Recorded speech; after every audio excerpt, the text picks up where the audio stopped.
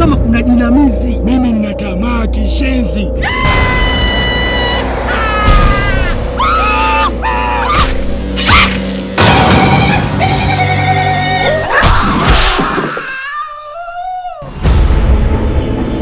tunapiga mzigo ule mwanangu, Mungu kumeka kiboya boya kweli mwanangu, kunyanyua fito zangu mimi unipeleke huko Vietnam huko kwa wajeshi huko Mwanangu mimi kule siendi. Afu msitu unajulikana kama kuku. Yaani hapa hata nikupa jero wewe pokea. Uko msituni ni hatari, ni hatari, ni hatari kupindukia.